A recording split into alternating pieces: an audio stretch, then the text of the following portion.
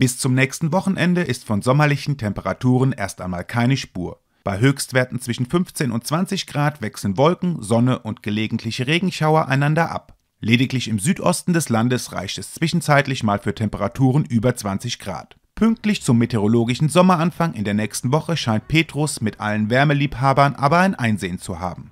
Der Temperaturtrend zeigt Anfang Juni deutlich nach oben. Bei Höchstwerten um oder sogar über 25 Grad könnte dann endlich sogar die Freibadsaison starten. Ob es allerdings wirklich landesweit für mehrere sommerliche Tage reicht, ist noch unsicher. Tiefdruckgebiete mit ihren Wetterfronten könnten den Sommergruß schnell in eine kühle und feuchte Angelegenheit verwandeln. Im Wetterticker auf Wetter Online halten wir Sie über die weitere Entwicklung auf dem Laufenden.